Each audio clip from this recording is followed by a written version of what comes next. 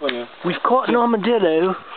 It's like a turtle had sex with a cockroach. Uh, you want to bring him into the van, into the me go away. into the truck? This is crazy.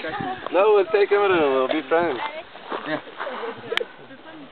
That's an armadillo. A seven something armadillo. Et il est allumé Looks like uh, what's the Teenage Mutant Ninja Turtles Rat Master? Splinter. There we go. Oh, no, another one of these. Look at that oh, thing. Oh, Isn't it graceful? Gonna pet him? His name is Looks like it has a disease on its back. That's nice. Arnie.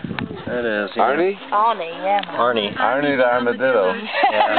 Picture me and the armadillo. Wow, that's crazy. Stai, staremo ti,